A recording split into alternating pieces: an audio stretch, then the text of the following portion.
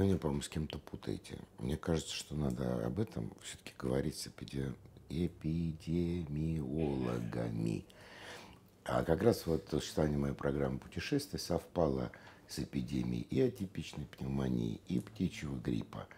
И я летал через эти азиатские страны, где все ходили в э, марлевых повязках, а я нет. И как-то и не умер. А потом, вот даже последний случай с этой, с Эболой или Эболой,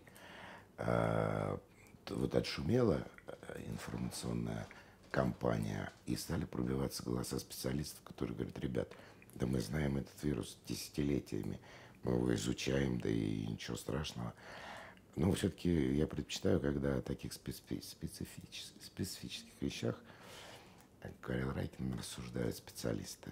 Э, я готов допустить, что, э, что здесь нашей, я имею в виду журналистов, вины не меньше, чем вины самих, самих этих там бактерий или кто там вызывает эти болезни. Так что, ну, я бы осторожно, осторожно пугался.